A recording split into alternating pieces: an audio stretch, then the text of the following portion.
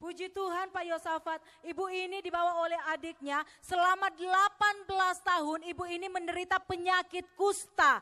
Bahkan sel seluruh tangannya itu menjadi kusta dan tangan sebelah kanannya ini tidak lagi dapat secara normal terus menerus menjadi kaku. Tetapi puji Tuhan pada malam hari ini, ketika ibu ini meletakkan sapu tangan yang sudah didoakan di atas kepalanya, ibu ini kustanya ditahirkan oleh Tuhan Yesus.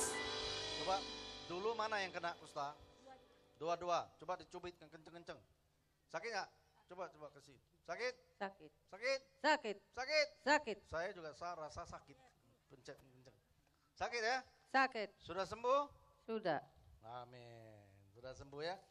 Kalau kusta itu sebelum disembuhkan tidak sakit toh? Iya. Kebas ya? Iya. Jadi mati rasa ya? Iya.